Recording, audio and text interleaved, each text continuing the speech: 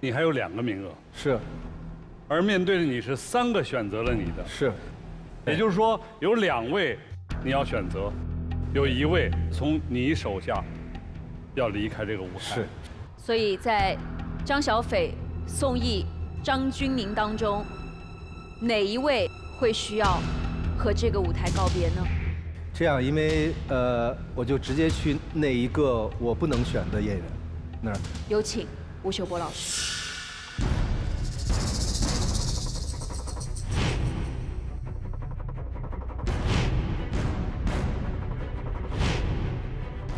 呃，小斐，你是非常优秀的演员，呃，因为你的喜剧演得比我更出色，所以我认为，嗯，不应该丢掉你的喜剧。谢谢。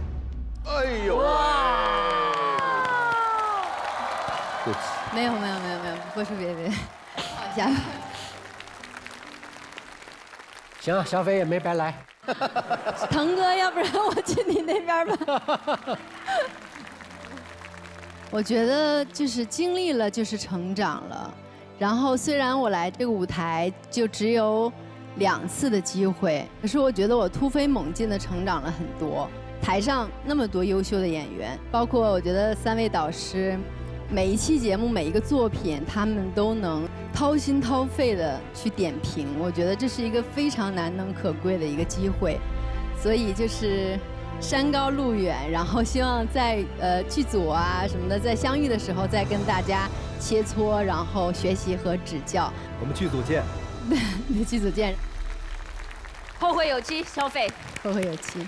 谢谢消费，感谢你的到来，谢谢。谢谢。